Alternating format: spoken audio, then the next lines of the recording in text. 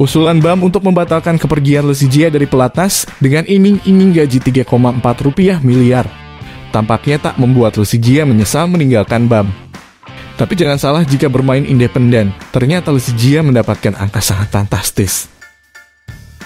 Perselisihan antara Lesijia dan Persatuan Bulu Tangkis Malaysia telah berakhir.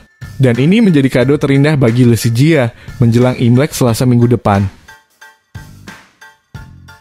Padahal sebelumnya Lisiji juga sempat ditawarkan gaji sebesar 3,4 rupiah miliar selama setahun dari BAM.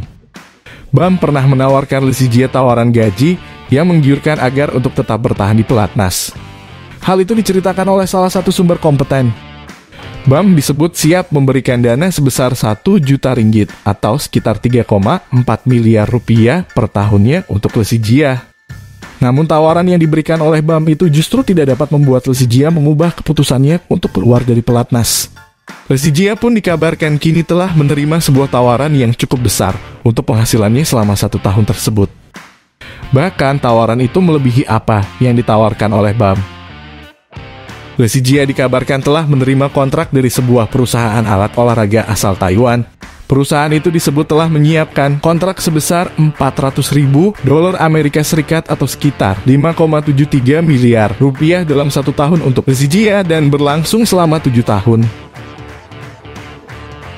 Pantesan Persija tetap dengan pendiriannya untuk keluar dari BAM. Ternyata sangat besar tawaran dari sponsor. Tapi tak semudah itu juga, Persija tetap berada dalam tekanan jika karirnya menurun. Persija juga sempat mengungkapkan kekecewaannya saat ia mengajukan pengunduran dirinya yang langsung dihukum larangan bertanding selama dua tahun.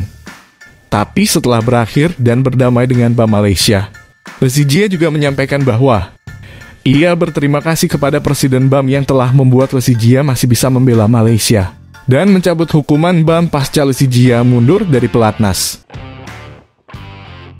Info terkini, Persija pebulu tangkis spesialis tunggal putra Malaysia itu melewatkan beberapa sesi latihan dan sekarang akan mengalihkan fokusnya untuk mengharumkan nama Malaysia di turnamen besar tahun ini.